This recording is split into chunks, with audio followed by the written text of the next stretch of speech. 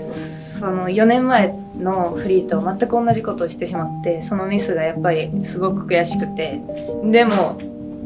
総合で見たら優勝だったのでなんか嬉しい気持ちと悔しい気持ちで結構複雑な感情でした。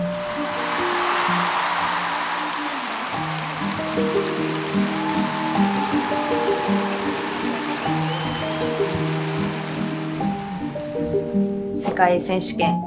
ができたっていうのもすごく嬉しいし、まあ、その中で自分が滑れたっていうのはすごくなんだろう今までの、うん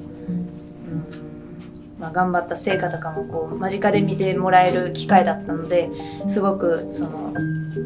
声援ありでの応援もすごく嬉しかったし